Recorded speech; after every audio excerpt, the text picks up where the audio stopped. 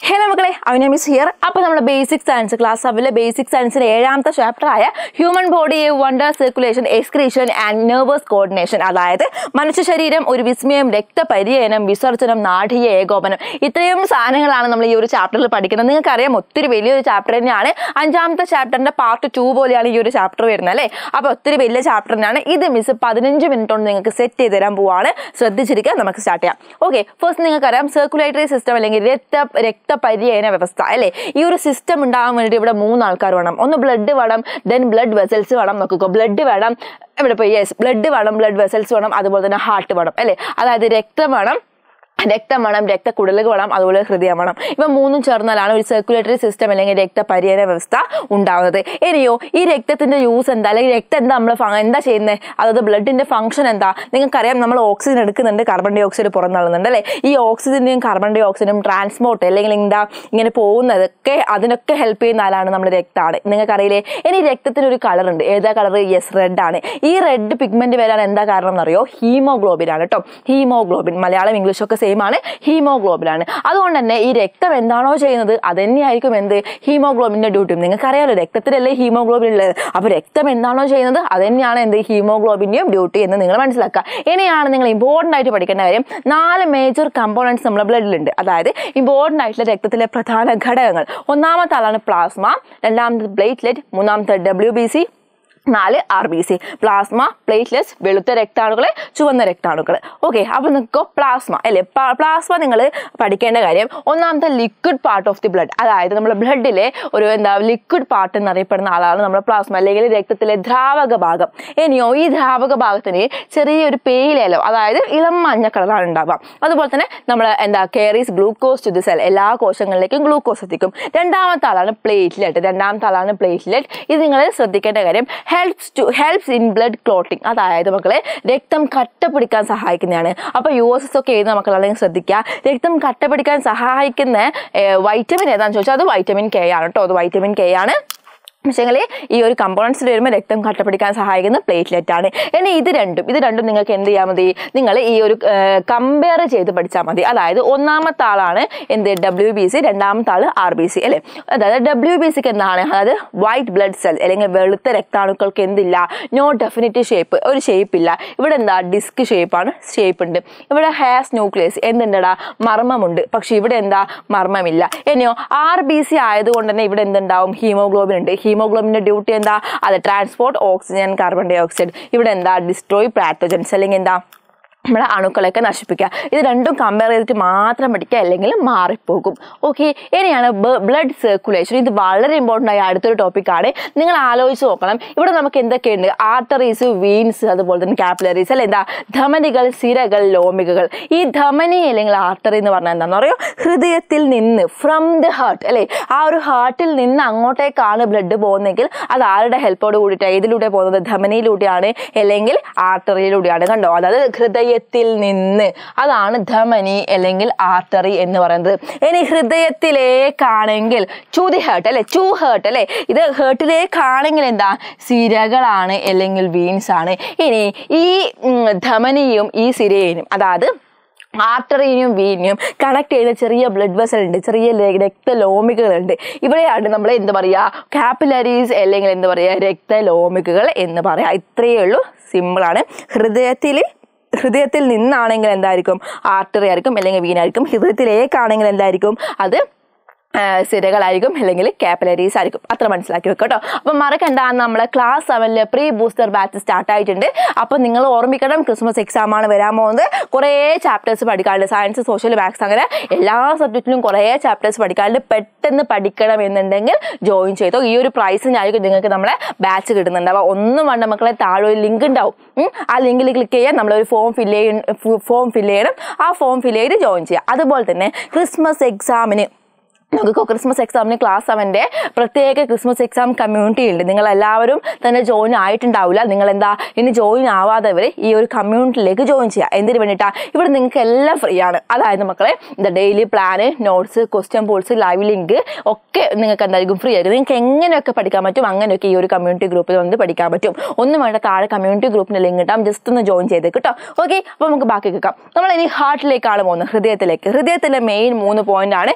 Miss ഇവിടെ അടയാളപ്പെടുത്തത് the heart is about the size of clenched fist അതായത് നമ്മളെ ഒരു മുഷ്ടിന്റെ അത്ര വലിപ്പം മാത്രമേ നമ്മളെ ഹാർട്ടിനുള്ളൂ എന്നാണ് പറയുന്നത്. രണ്ടാമത്തെ പോയിന്റ് ആണ് ഹൃദയത്തെ ആവരണം ചെയ്ത ഇരട്ട സ്ഥലമുണ്ട്. ഇതിനെയാണ് നമ്മൾ പെരികാർഡിയം ഇതൊരു ഡബിൾ ലെയർഡ് മെമ്പേർഡ് മെംബ്രെയിൻ ആയിട്ട് കവേർഡ് ആണ്. അപ്പോൾ ഈ ഒരു മെംബ്രെയിൻ ആണ് നമ്മൾ പറയുക എന്ത്? പെരികാർഡിയം അല്ലെങ്കിൽ യെസ് പെരികാർഡിയം എന്ന് പറയുന്നത്. ദെൻ ഇതെന്താ? മനുഷ്യ ഹൃദയത്തിന് നാല് അറകളുണ്ട്. ഫോർ ചാമ്പേഴ്സ് ആയിരിക്കുന്നുണ്ട് നമ്മളെ ഹൃദയത്തിനുണ്ട്. ഈ മൂന്ന് കാര്യങ്ങൾ ഓർത്ത് വെക്കുക ഓക്കെ അപ്പോൾ അടുത്താണ് ഹാർട്ട് ബീറ്റ് അല്ലേ? നിങ്ങൾ കേൾക്കാറില്ലേ ഹാർട്ട് ബീറ്റ് യെസ് നിങ്ങളോട് ഇവിടുന്ന് ചോദിക്കാൻ പോകുന്ന ക്വസ്റ്റ്യൻ ഹാർട്ട് ബീറ്റും പൾസും സെയിം ആണോ. അതെ ഹാർട്ട് ബീറ്റിന്റെയും പൾസിന്റെയും റേറ്റ് സെയിം ആണ്. ഹാർട്ട് ബീറ്റും പൾസും രണ്ടും രണ്ടാണ്. അതായത് മക്കളെ നമ്മൾ ഹാർട്ട് ഇങ്ങനെ ഇടിക്കും. അല്ലേ? നിങ്ങൾക്കറിയാം ഒരു മിനിറ്റിൽ എഴുപത്തിരണ്ട് എന്താ ടൈമാണ് നമ്മളെ ടൈംസ് ആണ് നമ്മളെ ഹാർട്ട് ഇടിക്കുക അല്ലേ? അപ്പോൾ ഈ ഇടിക്കുന്ന സമയത്ത് അത് നമ്മളെ മസിൽസിലൂടെ ഒക്കെ എന്ത് വരും? ഒരു വേവിലേക്ക് മോശം വരും അല്ലെങ്കിൽ തരംഗ ചലനം വരും. ഈ ഒരു തരംഗ ചലനം കാരണമാണ് പൾസ് ഉണ്ടാവുന്നത്. അപ്പോൾ ഹാർട്ട് ഇടിച്ചാൽ മാത്രമേ പൾസ് ഉണ്ടാവുള്ളൂ. അപ്പോൾ ഹാർട്ടിന്റെ റേറ്റും പൾസിന്റെ റേറ്റും എന്തായിരിക്കും? സെയിം ആയിരിക്കും എന്ന് മനസ്സിലാക്കി വെക്കുക. അതുപോലെ തന്നെ അടുത്ത ഇമ്പോർട്ടന്റ് ആയിട്ടുള്ള കാര്യം സ്റ്റെതസ്കോപ്പ് അല്ലേ? നിങ്ങൾ കേട്ടിട്ടില്ലേ? സ്റ്റെതസ്കോപ്പ് കേട്ടിട്ടില്ലേ? ഇത് ആര് കണ്ടുപിടിച്ചു? യെസ് റെനെ ലെനക്ക് കണ്ടുപിടിച്ചു. എക്സ്ട്രാ റീഡിംഗ് ആണ് ബട്ട് ഓർമ്മിച്ച് വെച്ചോളൂ. ഓക്കെ ഇനി നിങ്ങൾ ശ്രദ്ധിക്കേണ്ട കാര്യം ഹാർട്ടിനെ എങ്ങനെയൊക്കെ നമ്മൾ പ്രൊട്ടക്ട് ചെയ്യാൻ ടെക്സിലുണ്ട് അത് ജസ്റ്റ് വായിച്ചു നോക്കിയാൽ മതി മിസ് ഇപ്പോൾ പറയുന്നില്ല. ഇനി നിങ്ങൾ ഓർമ്മിക്കേണ്ട കാര്യം ലോക അല്ലേ?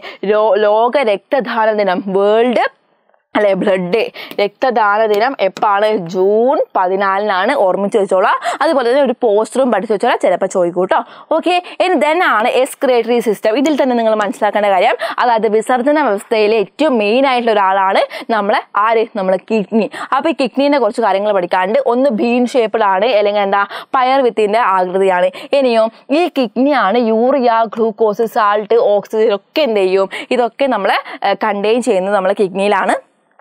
then but the blood return through the renal vein after filtration contain comparatively less amount of urea glucose salt oxygen components. അപ്പോൾ ഫിൽട്രേഷൻ ഒക്കെ കഴിഞ്ഞ് കഴിഞ്ഞാൽ ഈ യൂറിയ സാൾട്ട് അങ്ങനത്തെ സാധനങ്ങളൊക്കെ എന്താണ്? കുറച്ചും കൂടി വീര്യം കുറഞ്ഞാവും. അല്ലെങ്കിൽ കുറച്ചും കൂടി ഹാംഫുൾ ആവില്ല അത്. ഇത് ശരിക്കും പറഞ്ഞാൽ നല്ല ഹാംഫുൾ ആയിട്ടുള്ള സബ്സ്റ്റൻസ് ആണല്ലോ. പിന്നെ എന്താവും? ഇത് അതിന്റെ കുറച്ചും കൂടി വീര്യം കുറഞ്ഞിട്ടായിരിക്കും ഫിൽട്രേഷൻ കഴിഞ്ഞതിന് ശേഷം വരിക. ഇതൊക്കെ നിങ്ങൾ മനസ്സിലാക്കി വെക്കുക കേട്ടോ. ദെൻ നിങ്ങൾ ഈ ഒരു വൃക്കനെ നമുക്ക് എങ്ങനെയൊക്കെയാണ് പ്രൊട്ടക്റ്റ് ചെയ്യുക എന്നുള്ള കാര്യം മനസ്സിലാക്കി വെക്കുക. പിന്നെ നമുക്കറിയാം കിഡ്നി പോയി കഴിഞ്ഞാൽ എന്താ ചെയ്യുക ഒന്നാമത്തെ വഴി ഡയാലിസിസ് ആണ് രണ്ടാമത്തെ വഴി എന്താ? കിഡ്നി ട്രാൻസ്പ്ലാന്റേഷൻ അല്ലേ? രണ്ടാൾക്കാരും ഒരുപോലെ ആണെങ്കിൽ അല്ലെങ്കിൽ ഒരു പ്രശ്നമില്ല നമുക്ക് എന്ത് ചെയ്യാം? കിഡ്നി ട്രാൻസ്പ്ലാന്റ് ചെയ്യാം. അതൊന്ന് മനസ്സിലാക്കി വെക്കുക കേട്ടോ. പിന്നെയാണ് കിഡ്നിയിലൂടെ നമ്മൾ എന്ത് ചെയ്യുന്നുണ്ട്? കിഡ്നി ഫിൽട്രേഷൻ കഴിഞ്ഞ് കഴിഞ്ഞാൽ അത് യൂറിനായിട്ട് പുറത്ത് പോകുന്നുണ്ട്. അതുപോലെ തന്നെ നമ്മളെ ബോഡിയിലെ വാട്ടർ വേറെ എന്താണ് യെസ് നമ്മളെ വിയർപ്പായിട്ട് അല്ലെങ്കിൽ സ്വെറ്റ് ആയിട്ട് നമ്മൾ പുറത്തോട്ട് പോകുന്നുണ്ട്. ഈ സ്വെറ്റ് എങ്ങനെ ചെയ്യുന്നത്? നമ്മളെ ബോഡിയിൽ നമ്മളെ സ്കിന്നിൽ ആരുണ്ടടാ? സ്വെറ്റ് ഗ്ലാൻസ് ഉണ്ട്. അല്ലെങ്കിൽ എന്താണ് സ്വേദഗ്രന്ഥികൾ കേട്ടോ അതായത് സ്വേദഗ്രന്ഥികളുണ്ട് ഈ സ്വേദഗ്രന്ഥികളിൽ കൂടിയാണ് വിയർപ്പ് എന്ത് ചെയ്യുന്നത് മക്കളെ? പുറത്തോട്ടേക്ക് പോകുന്നത് എന്ന് നിങ്ങൾ മനസ്സിലാക്കുക. ഓക്കെ ഇനിയാണ് നമ്മൾ ലങ്സ് ശ്വാസകോശം പഠിക്കാനുള്ളത്. ഇമ്പോർട്ടന്റ് ആയിട്ടുള്ളതാണ്. Lungs eliminate carbon dioxide produce in the അതായത് അതായത് നിങ്ങൾക്കറിയാം നമ്മൾ ശ്വാസം എടുത്തു കഴിഞ്ഞാൽ എങ്ങോട്ടേക്കാണ് പോകുന്നത്? ഹാർട്ടിലേക്കാണോ ലിവറിലേക്കാണോ? ഒന്നുമല്ല നമ്മൾ ശ്വാസകോശത്തേക്കാണ് അല്ലെങ്കിൽ ലങ്സിലേക്കാണ്. ഈ ലങ്സാണ് എന്ത് പുറന്തള്ളേണ്ടത്? കാർബൺ ഡൈ ഓക്സൈഡ് പുറന്തള്ളേണ്ടത് എന്ന് ഓർമ്മിക്കുക. അപ്പോൾ എക്സ്ക്രീഷൻ അല്ലെങ്കിൽ വിസർജന വ്യവസ്ഥയിൽ രണ്ടാമത്തെ കേട്ടോ ലങ്സ് ഇനി മൂന്നാമത്തെ ലിവർ അപ്പോൾ ലിവർ എന്താ ചെയ്യുന്നത്? ലിവറിന്റെയും കുറച്ച് കാര്യങ്ങൾ നിങ്ങൾ പഠിക്കാനുണ്ട്. ഒന്നാമത്തെ ഏറ്റവും ഇമ്പോർട്ടന്റ് ആയിട്ട് പോയിന്റ് ആണ് which is the largest gland in the human body എന്ന് ചോദിക്കുമ്പോൾ പറയേണ്ട ആൻസർ ആണ് ലിവർ അതായത് ഏറ്റവും വലിയ അല്ലെ ഏറ്റവും വലിയ ഗ്രന്ഥി. നമ്മുടെ മനുഷ്യ ശരീരത്തിലെ ഏറ്റവും വലിയ ഗ്രന്ഥി ഏതാണെന്ന് ചോദിക്കുമ്പോൾ നിങ്ങൾ പറയണം യെസ് എന്താണത്? എന്താ ലിവർ ആണ്. ഇനി ലിവർ എന്ത് ഉൽപ്പാദിപ്പിക്കുന്നുണ്ട്? ഒരു ബൈൽ ജ്യൂസ് അല്ലെങ്കിൽ നമുക്ക് എന്ത് പറയാതിനാ പിത്തരസം ഉൽപ്പാദിപ്പിക്കുന്നുണ്ട്. നമ്മുടെ ബോഡിയിലെ വേണ്ടാതായിട്ടുള്ള കൊഴുപ്പിനെ അല്ലെങ്കിൽ ഫാറ്റിനൊക്കെ എന്ത് ചെയ്യാൻ വേണ്ടി ഡൈജസ്റ്റ് ഒക്കെ ചെയ്യാൻ വേണ്ടി ഇല്ലാണ്ടാക്കാൻ വേണ്ടിയിട്ടാണ് ബൈൽ ജ്യൂസ് ഉൽപ്പാദിപ്പിക്കുന്നത്. അതുപോലെ തന്നെ നമ്മളെ ബോഡിയിൽ ന്യൂട്രിയൻസിന്റെ ഒക്കെ ബ്രേക്ക് ഡൗൺ നടക്കുന്ന സമയത്ത് അമോണിയ ഉണ്ടാവുന്നുണ്ട്. കേട്ടോ അമോണിയ ഭയങ്കര ബുദ്ധിമുട്ടാണ് അതായത് ഭയങ്കര ഹാംഫുൾ ആയിട്ടുള്ള ഒരു സബ്സ്റ്റൻസാണ് അപ്പോൾ ആ ഒരു അമോണിയനെ യൂറിയാക്കി മാറ്റുന്ന ഒരാളാണ് ലിവർ അത് മൂന്നാമത്തെ പോയിന്റ് ആണ്. നിങ്ങൾ ആരും ശ്രദ്ധിച്ചിട്ടില്ലെങ്കിൽ പഠിച്ചു വെച്ചോളം. ഇമ്പോർട്ടന്റ് ആണ്.